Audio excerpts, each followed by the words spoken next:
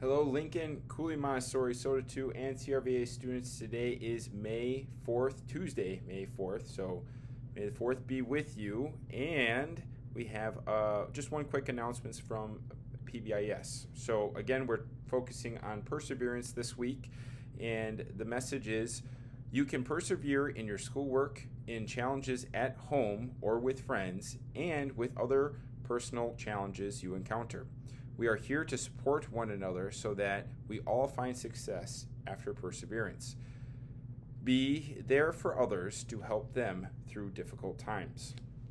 So, again, I think very fitting for this year. There's been lots of things that we've all been persevering through and trying to make it through. I know mask wearing is definitely one that some kids mention a lot, but let's keep doing a good job with all of that. Uh, that's pretty much all I've got for the announcements, though. So we're going to stand up and quick do the pledge, and then we'll get on.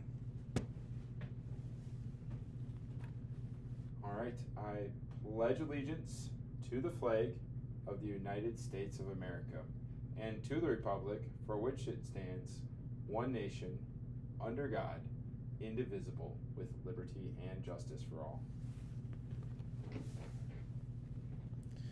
All right that's pretty much all we've got for today.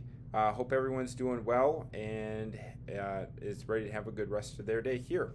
Be good to each other, and we'll see you tomorrow.